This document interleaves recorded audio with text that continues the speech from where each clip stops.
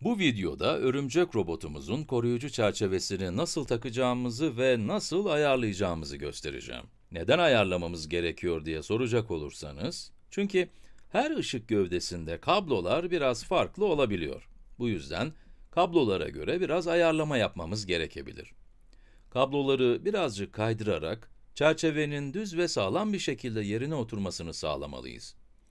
Gördüğünüz gibi birçok farklı kablo var ve bu kabloları farklı şekillerde bükerek çerçevemiz için yer açmalı, ayrıca her şeyin düzgün bir şekilde bağlı olduğundan emin olmalıyız. Ben çerçeveyi takarken biraz zorluk yaşadım.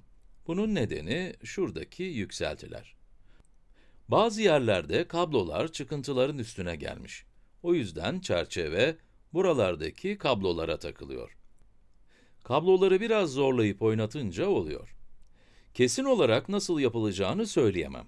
Kendiniz de deneme yanılma yöntemiyle bulabilirsiniz. Çerçeve düzgün yerleştirildiğinde zaten rahatça oturduğunu fark edeceksiniz. Çerçeveyi yerleştirdikten sonra kabloların bağlantılarının çalışıp çalışmadığını kontrol edelim.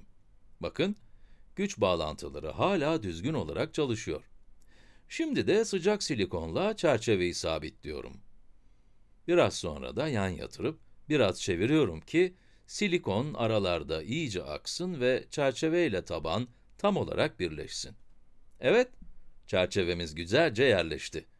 Böylece hem kablolarımız korunacak hem de robotumuzun güzel bir görüntüsü olacak.